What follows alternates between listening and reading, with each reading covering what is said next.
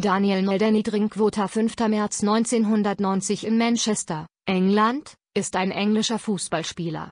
Er steht seit 2017 beim FC Chelsea unter Vertrag.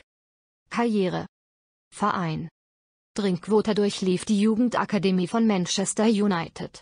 Im Jahr 2009 unterschrieb er einen Profivertrag bei dem von Alex Ferguson trainierten Verein.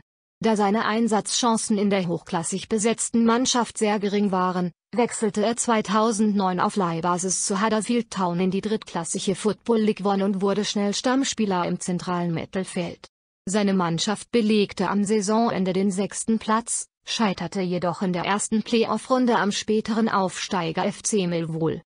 Zu Beginn der Saison in der zweitklassigen Football League Championship 2010-11 wechselte er auf Leihbasis zu Cardiff City. Cardiff City hatte in der Saison 2019 den Aufstieg in die Premier League nur knapp verpasst. Da Drinkwater nicht wie erhofft zum Einsatz gekommen war, holte ihn Manchester United vorzeitig zurück und verlieh ihn am 28. Januar 2011 an den Zweitligisten FC Watford. Im August 2011 wurde er bis zum 2. Januar 2012 an den FC Barnsley ausgeliehen.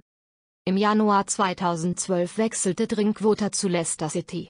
Er unterschrieb einen bis zum 30. Juni 2015 gültigen Vertrag. Nach fünfeinhalb Jahren und einer Meisterschaft, wechselte Drinkwater im August 2017 zum FC Chelsea. Sein Vertrag läuft bis 30. Juni 2022.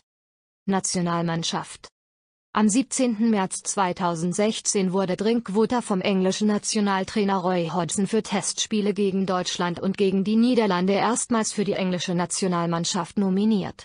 Am 29. März 2016 kam er beim 1:2 im Spiel gegen die Niederlande in London zu seinem ersten A-Länderspiel, als er sechs Minuten vor dem Spielende für Erik Dier eingewechselt